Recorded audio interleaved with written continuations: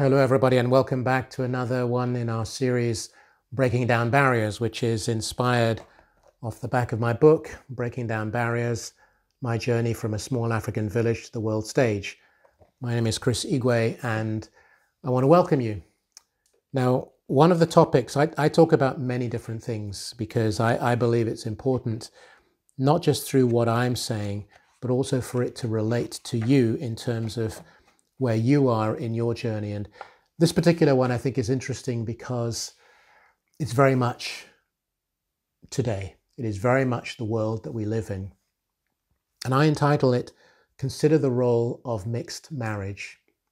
Consider the role of mixed marriage. Well, why would I talk about that as a topic? Well, firstly, because I was born and raised in Nigeria. I'm Nigerian. And my wife, who I met in Edinburgh, is from Scotland. So you have two cultures, very much two cultures coming together.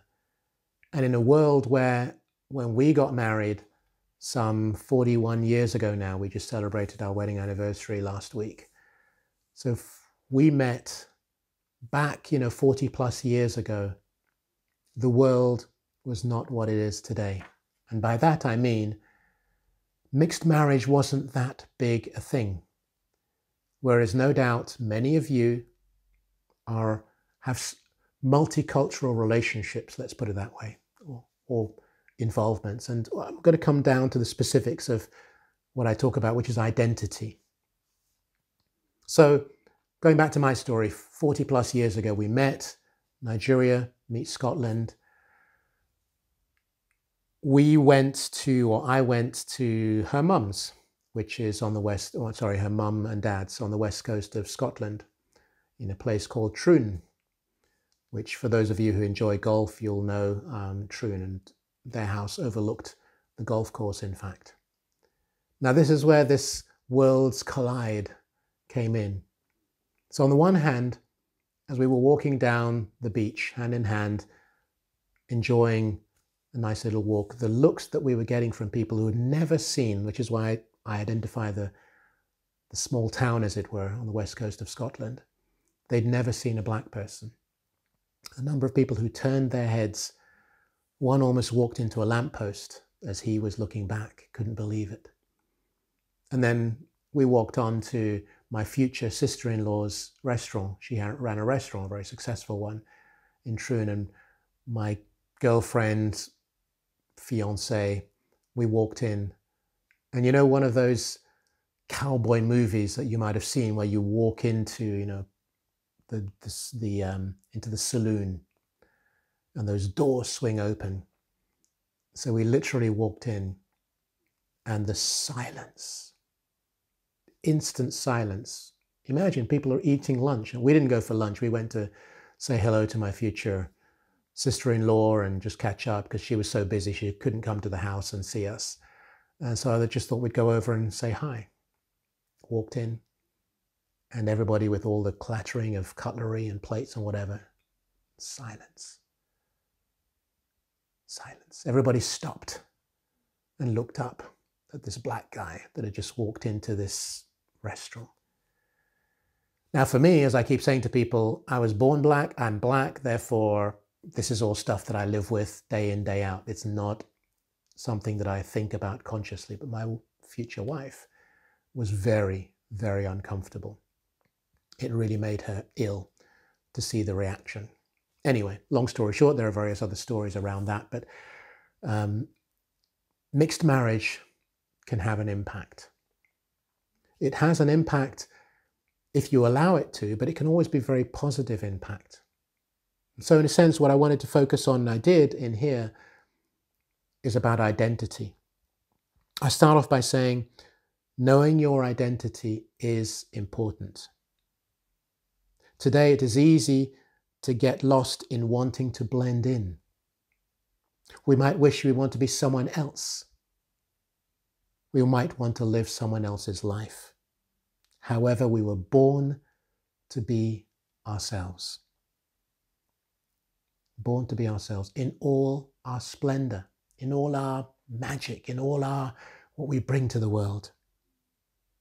So learn to walk tall and not be intimidated by getting lost in the crowd. Now, as I say, I don't read the book. I'm not here to do a bedtime story for you, but I just want to highlight and capture some of the pieces. All my personal stories are in there. If you want to get a copy of the book, great. If you don't, that's all right. We can continue this conversation.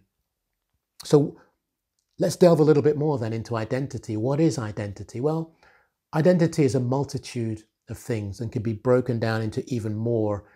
As we talk in my world of retail, we talk about personalization. So it breaks down even more from being black, being from Africa, being Nigerian to what is Chris like? What does Chris love? What does he, what kind of car does he drive? What kind of house does he live in? What kind of environment? How often does he go shopping? Well, never. Um, not my favorite pastime. I always get it wrong. So the other two weeks ago, my wife gave me a list. I said, Do you really want me to go? She said, yeah, please do. I went and I came back and inevitably I got it wrong. I bought stuff that was way too expensive. I didn't buy the right brand, which is why I say to her, go shop yourself. That's, she said, well, you were on, it was on your way. So, you know, we take our risks. But identity is about individuality. It's about ethnicity. It's about gender. It's about sex. It's about sexual orientation. It's about your origins, about your background. It's about your education. It's about your family status. These are all parts of identity. And wherever you are in that, do not, do not disown it. Do not give it up. Do not allow it to consume you.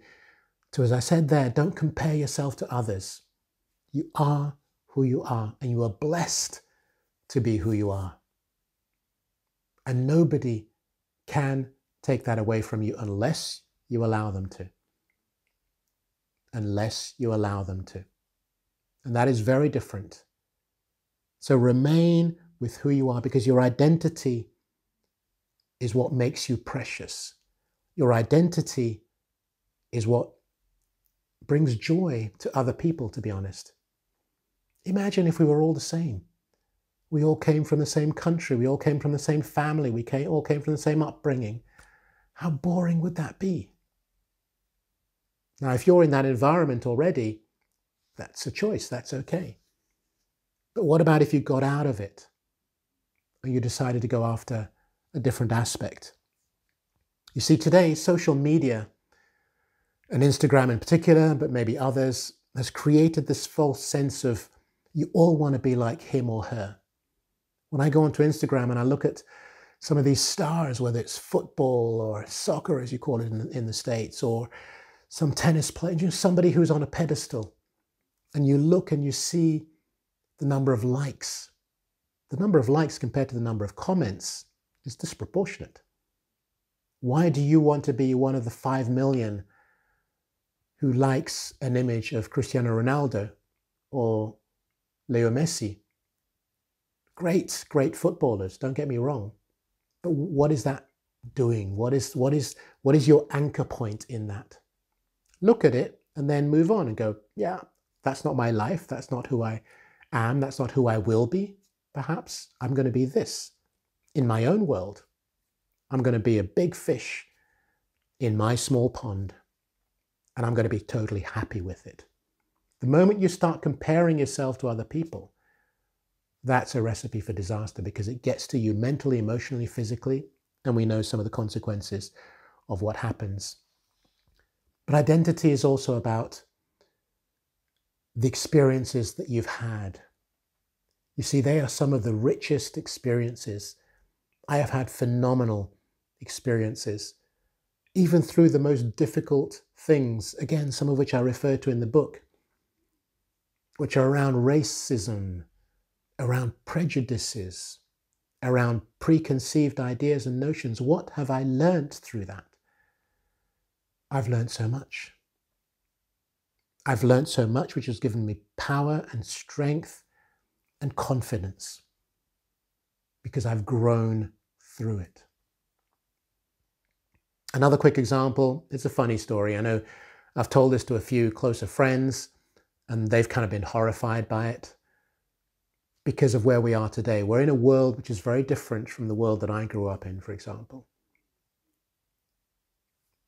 My granny, or my wife's granny, died a long time ago.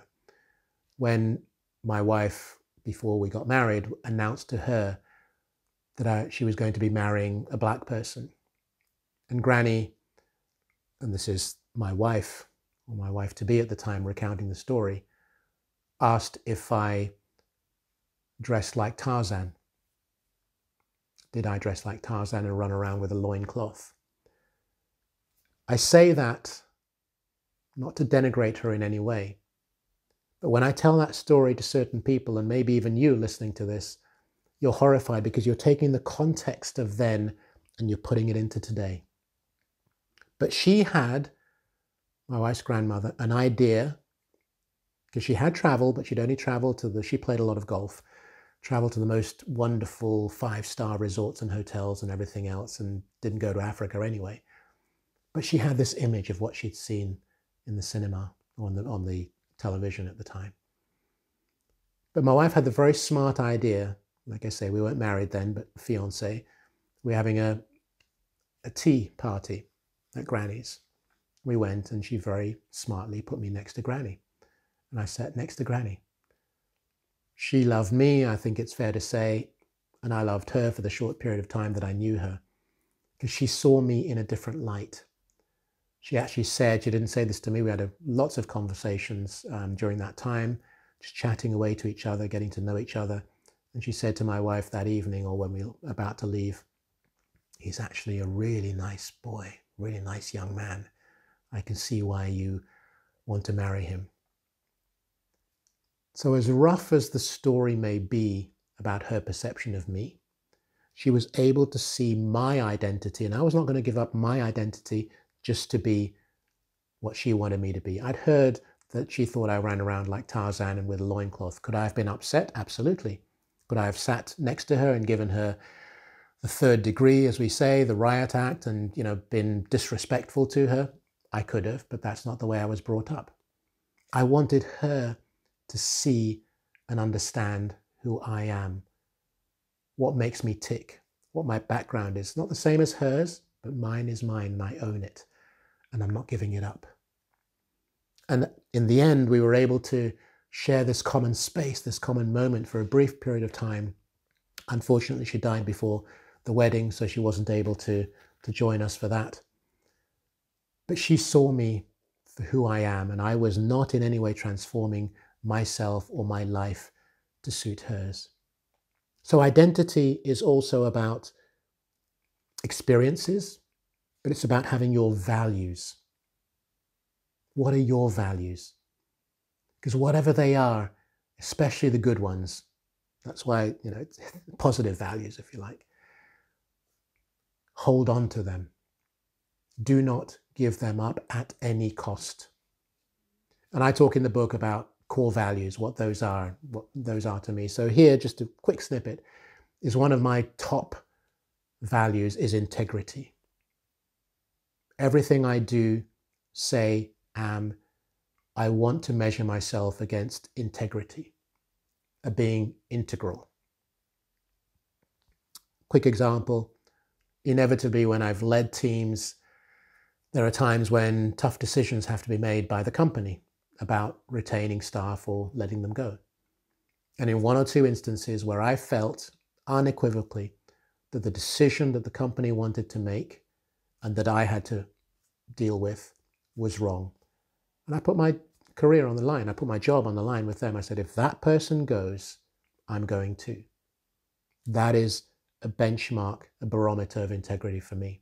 Inevitably, it didn't happen because they didn't want to lose me, because I felt that person whether he or she was more expensive than the others, this is not the time for him or her to go. So, anyway, I put my case forward. So, my point is integrity.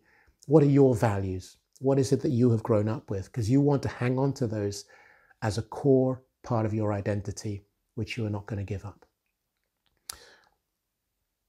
This is what Margaret Mead says as a quote Always remember that you are absolutely unique just like everyone else. You are absolutely unique, just like everyone else. Everyone is unique, and so are you. So, on that note, I want to wish you all the best. I look forward to uh, connecting with you again. Subscribe to the channel so we, you know when other videos are made available. And I wish you all the very best and look forward to speaking to you soon. Thank you.